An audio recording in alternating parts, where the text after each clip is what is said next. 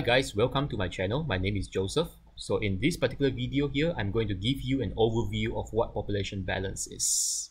Let's jump straight into this video. So in real life, many quantities are being distributed. For example, they will be distributed in size. If you look at a bunch of particles here, right, and if, if you actually sample this particle here, right, if you sample this particle here and you actually go and count the number of particles for a particular size of the particle, you'll be able to actually build a distribution curve that looks probably like this. So let's just call this distribution the number density, right? Let's just call this the number density. So let's say initially the particle distribution or the particle number density looks like this, okay? So if you put these particles under processing, for example, if you mill it or grind it, so how does this distribution or the number density evolve with time, right? How does it change with time? So this is the question that is very important that we are going to try to answer by this particular technique called population balance modeling. So when you subject this bunch of particles under milling or grinding operation, or say for example, if these particles are polymers that is subjected to enzymatic hydrolysis, right? How does their distribution evolve with time? So for example, they can evolve in such manner. This is at time zero and this is at time one. Okay, and then after some time, they can evolve to another distribution. So when we try to track the temporal evolution or the transient of this number density, um, what are the technique that we can use to model this behavior, right? So because in many, many applications in real life, um, the distribution matters, right? For example, in milling, it's going to be very important to control the size distribution of the particle or maybe in pharmaceutical processes, where you are trying to uh, produce some drug crystals, right? So the size distribution of the crystals that you produce are very important. So how do we actually control them to the product specification that we want? So in this regard, modeling can help us. And more specifically, we can use population balance modeling to model the so-called distribution or the number density with time. Okay? So this example here, we are talking about the dependence of number density with just size. So this is a one-dimensional population balance problem. So there could be other cases or other examples whereby you do not only talk about a one-dimensional example, but you could be talking about examples in which two or more um, dimensions are being involved. Okay, for example, if you look at a cellulose nanocrystal here, right? This is a cellulose nanocrystal, an example of a, a picture of a cellulose nanocrystal, right? When you uh, put in a bunch of biomass subject to enzymatic hydrolysis or acid attack, and then you remove all the amorphous region and eventually you get this crystal form of cellulose. And this crystal form of cellulose is very, very useful and the main thing that determines the application or the property of the cellulose nanocrystal is the dimension, right? So their, their dimension, basically, you can approximate them by saying that they can be characterized by, say, maybe their width or and their length. So in this particular example, then there will be two dimensions that you are concerned about, right? You want to specifically control the length and the width because these two will contribute to the aspect ratio of the cellulose nanocrystal. So in this sort of example, then you'll be talking about two dimensions. So if it's in two dimension, then the number density with respect to these two dimension or, property or property of the particle can look something like this, right? So it will become a, a surface um, curve here of the number density where it's dependent on two property here, right? Okay, so the length and the width perhaps, right? So this is another example of situations whereby the distribution of a particle is important. Now I'm referring loosely to particles, right? But in fact, it can be anything, right? Anything that has a distribution. and when the distribution is very important, then this as this particular aspect is something that we should consider when we attempt to model them when it's important for us to model the distribution and this is the focus of this particular video. So there are many many other examples with a common theme of being distributed. For example when we talk about polymerization right? In polymerization you talk about the chain length distribution right? If you have a linear polymer and the polymer will have varying or different chain length. You have this is a polymer with uh, six monomer being joined together and then you might have polymers with three monomers being joined together. So when you subject these polymers under certain certain action, right? For example, if you use an enzyme to hydrolyze them or you use an acid to acid to break them, or even when you have polymers that join together to form a larger polymer, right? Instead of being broken down into small pieces, they can combine to form larger pieces. Then this is also possible, right? In polymerization, the common theme of being distributed exists.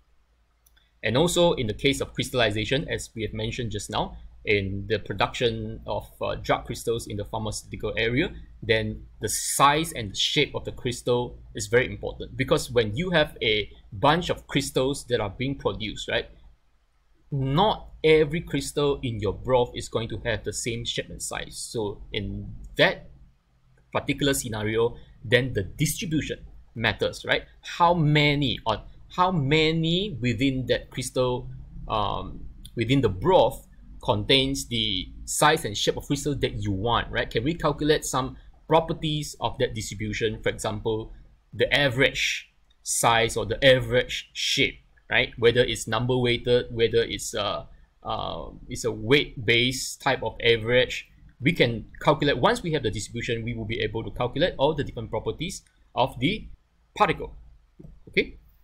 And say in milling, when you have a particle and you want to grind them, this also has a common theme of being distributed. And not only for particles, right? Sometimes when you talk about cell, right? Uh, uh, uh, when you have a bunch of cell, those cells will have different age, right? So every cell would experience a different phase of growth, right? This cell may be older than the other cell. So in this case, the age can be a property that is being distributed. So then population balance can also be used to model um, biological cells, okay? And many more, and there are many, many more examples. So a good review and a very, very excellent review that gives uh, an idea of the applications of population balance can be found in Ramkrishna and Singh 2014. Okay, so most of the people might already be familiar with the equations that conserve momentum, say for example, the Navier-Stokes equation, very famous equation, or the energy equation being, shown here. Or we are also familiar, if, if we are in mechanical engineering or chemical engineering, we are also familiar with the continuity equation and chemical engineers, especially uh, the students who studied transport phenomena, they will be familiar with the species advection diffusion equation. So these are equations that conserve a particular aspect of a system, right? It's either momentum, energy, mass, or species. So in all the examples just now, that we talk about when the particles are undergoing some form of transformation, for example, like milling, grinding, enzymatic hydrolysis, or aggregation, agglomeration. What would be the equation that can conserve the number of particles in that particular system, right? Because all these transport equations that we've, we are seeing here conserve some property, right? For example, they conserve momentum, they conserve energy, they conserve the total mass, and they conserve the mass of the species. So in those examples just now that we spoke about, we need to conserve the number. Say for example, we have a particle here, a big particle, or we call it a parent particle, and it breaks into two smaller daughter particle. The number of particle in this case must be conserved, right? Two particle, one particle split into two particle, you take the two smaller particles and you sum them back up, the property must be equivalent to the parent particle. Conversely, or on the other hand, you can have two smaller particle, right, that joins together and form one larger particle here in the case of agglomeration. Well, in this case, 2 becomes 1 and there must be some property that is being conserved between the two cases, right? So in this case, we speak about the conservation of number. And this is what population balance equation is all about, right? It's, it's basically a transport equation, a governing equation that tries to conserve the number of the quantity that is being uh, studied, right? The number of the particle. Okay, so the conservation of number is basically represented by the general population balance equation, which is shown here. Okay, so in this particular equation here, n is the number density. All right. X is the internal coordinate. So internal coordinate here is just a term that represents the coordinate that you choose to represent your particle. For example, the size, right? And in the case of say polymer, perhaps the degree of polymerization. So this is an example of the internal coordinate that is being chosen. Spatial coordinate is represented by R. Spatial coordinate means in your physical system, you have, say, for example, your X, Y, and Z, right? In a physical three-dimensional space. That's your spatial coordinate system. And this H here in the equation, right, this term here, is the source and the sink term. I'll explain in a while what this means. But basically, if we look at this population balance equation here, the first term tells you how the number density evolves with time. So if you have a particle size distribution, how this distribution actually evolve with time is being described by the first term, the partial derivative of the number density here. So the second term in the population balance equation here tells us how the number density evolves with the internal coordinate space, right? It might be a little bit difficult to understand uh, what this means here, but I'm trying my best to explain it as uh, simply as possible, as layman as possible.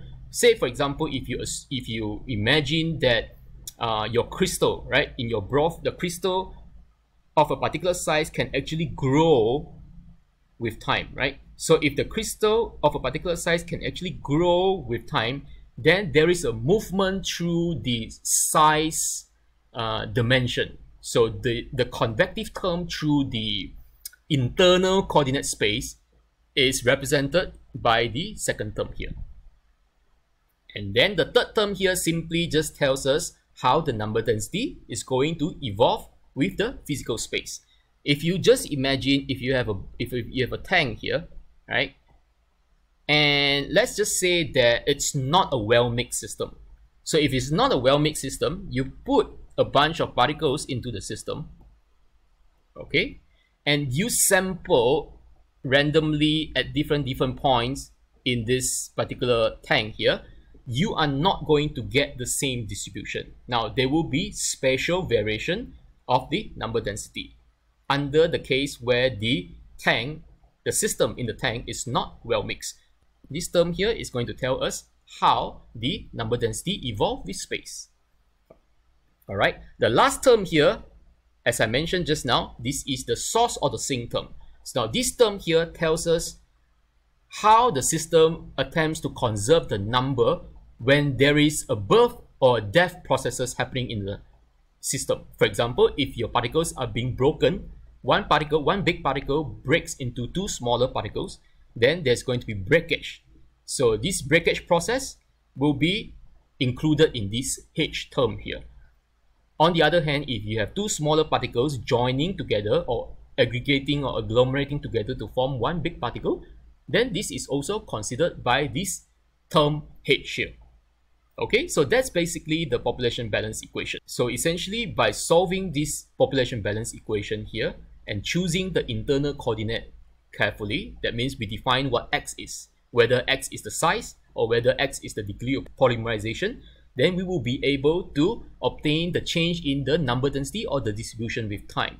So an example is something that is represented in this figure here, how the number density actually change with time. If we solve this population balance equation, we will be able to model this. So this is an overview video, so I'm not going to go particularly uh, deep or I'm not going to explain in more detail of what each term can expand to mean. Um, but if you find this video helpful, and you find this video useful to help your understanding about population balance equation, be sure to hit like and subscribe and comment down below whether this has helped you in your study of population balances. So if you would like to see more videos like this that explains more about population balance equation, let me know in the comment section below. Thank you and see you.